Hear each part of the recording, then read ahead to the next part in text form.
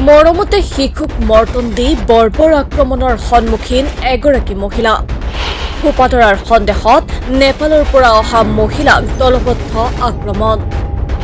ঘটনাস্থলীত উপস্থিত আৰক্ষীৰ দলকো আক্ৰমণ উত্তেজিত লোকৰ। অভিনীল কাণ্ডৰ পুনৰাবৃত্তি। ডিমা হাছাও জিলাৰ হাফলঙত সংঘটিত হৈছে এক জঘন্য ঘটনা। সোপাধৰাৰ সন্দেহত নিৰীহ মহিলাক উন্মত্ত জনতাৰ অমানৱীয় আক্ৰমণ। সোমবাৰে নিশা লোৱাৰ হাফলং বজাৰত সংঘটিত হয় এই চাঞ্চল্যকৰ ঘটনা।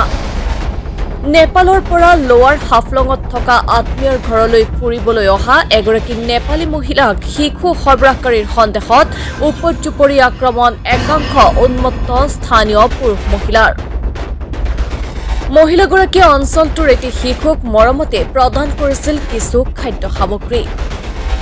শিশুটিক খাদ্য সামগ্ৰী প্ৰদান কৰাৰ বাবে সন্দেহৰ বশৱৰ্তী হৈ মহিলাগৰাকীক আক্ৰমণ কৰে অঞ্চলটোৰ একাংশ উন্মত্ত লোকে।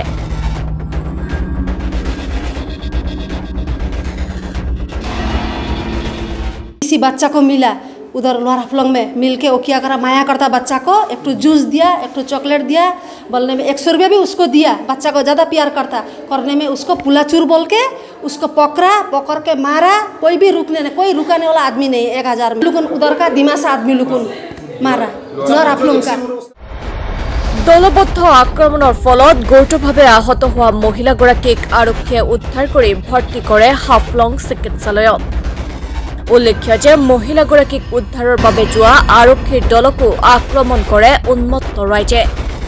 ভয়ংকৰ আক্ৰমণত গুৰুতৰভাৱে আহত হয় কেইবাগৰাকীও আৰক্ষী বিষয়া জোৱান। আহতসকলৰ ভিতৰত এগৰাকী আৰক্ষী জোৱানক গুৱাহাটী চিকিৎসা মহাবিদ্যালয়লৈ প্ৰেৰণ কৰা হয় বুলি জানিব পৰা গৈছে। ঘটনা সন্দৰ্ভত এই পৰ্যন্ত চাৰিগৰাকী মহিলাসহ মুঠ সাতটাকৈ অভিযুক্তক গ্ৰেপ্তাৰ কৰিছে আৰক্ষীয়ে। कल पच्चीस तारीख को पच्चीस मार्च शाम में सात साढ़े सात बजे के आसपास पुलिस कंट्रोल रूम में खबर मिला कि लोअर हाफलोंग एरिया में एक महिला को अ, कुछ एक मॉब इकट्ठा होकर लोअर हाफलोंग जो बाज़ार है उसके पास उसके ऊपर असॉल्ट कर रहा है एक मॉब। तो और उसका कारण ये है कि वो मॉब का लोग सोच रहा था कि एक चाइल्ड लिफ्टर है। वो लोग को ये सस्पिशन था। तो ऐसा जैसे ही हम लोग को खबर मिला इमीडिएटली हम लोग का पुलिस पार्टी ओसी सरकारी बगान आईसी ये लोग सब फोर्स लेकर के वहाँ पे रश किया।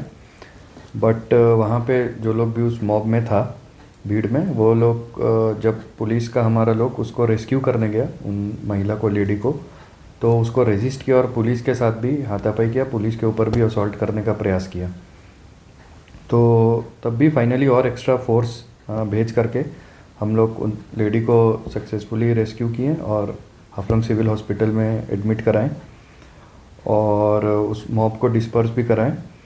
बाद में जो जो उसमें मेन मास्टरमाइंड था, जो लोग ये एक तरीके से रूमर फैलाया और उसके ऊपर असॉल्ट को जो लोग प्रवोक किया तो वैसे सात लोगों को हम लोगों ने अरेस्ट किया है। इसमें चार महिला और तीन पुरुष है। टोटल सेवन लोग। और एफआईआर भी रजिस्टर हुआ है। और आगे का जो इन्वेस्टिगेशन है, जो कार्रवाई है, वो इसमें भी जारी है। का हो, जो दीमा हसाऊ का नहीं हो, या जो उस एरिया के पर्टिकुलर कम्युनिटी को बिलोंग नहीं करता हो, उस, वैसा किसी भी स्ट्रेंजर आदमी को देखने से बहुत आ, लोगों के मन में एक ये आशंका होता है कि कौन है और उसको लोग अटैक कर देते हैं सीधा। तो ऐसा घटना पहले भी हो चुका है ये ऐसा पहला घटना नहीं है। Bureau report my news ANI.